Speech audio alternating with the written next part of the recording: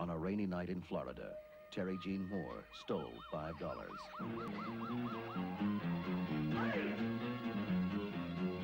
And all it bought her was 20 years in prison.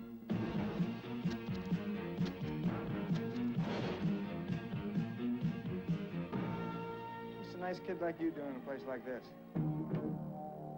Well, she says she's got a civil case. Sweet thing, what am I going to do with you?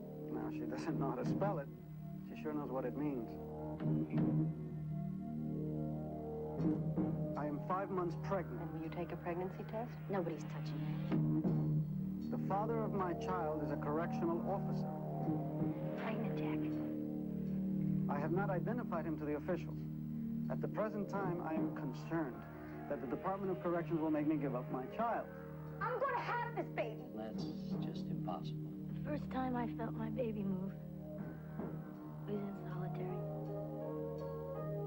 At 20, she fell in love with a prison guard.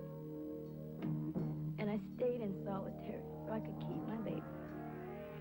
This is the true story of a courageous woman's fight for the only right she had left. And I need to keep this baby. Because I love this baby. And we belong together.